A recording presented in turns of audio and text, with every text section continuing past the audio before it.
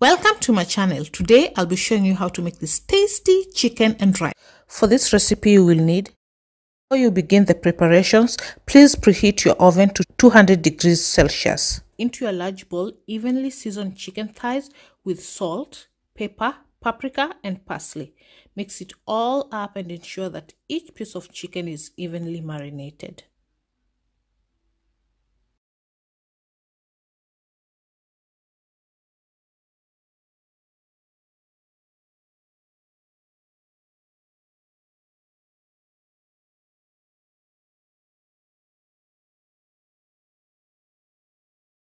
On high, heat your oil in a pot.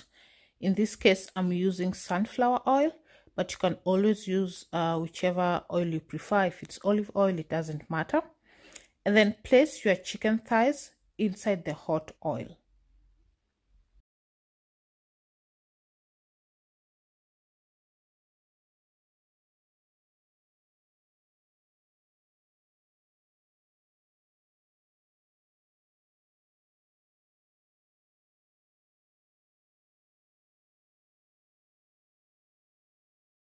Cook your thighs until they develop a brown crispy skin. Keep flipping over until you achieve that. Once they're done, remove them and set them aside from the pot.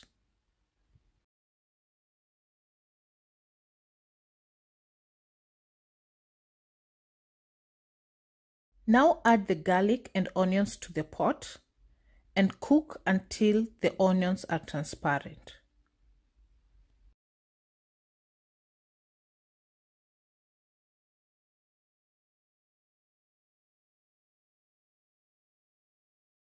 Pour in the rice, followed by the chicken broth to the pot.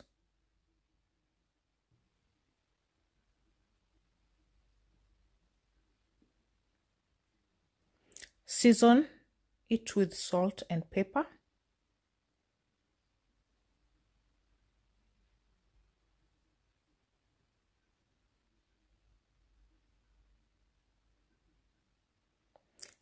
Stir well bringing to a boil.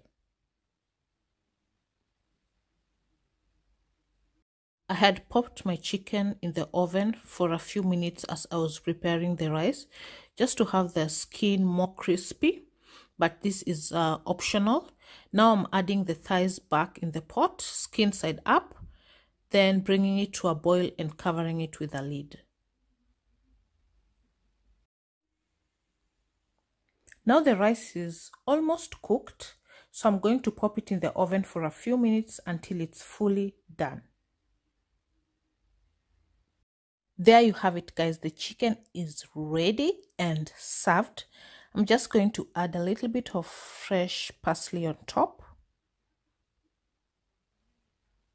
I love the wild mushroom cream sauce, so I'm just going to pop a little bit of that over this. Now let's dive in the top is really really crispy which is good. The inside is also succulent and moist and juicy. I just can't wait for you guys to try this recipe and let me know how it came out. Otherwise my family really really loved it and i can't wait to do it again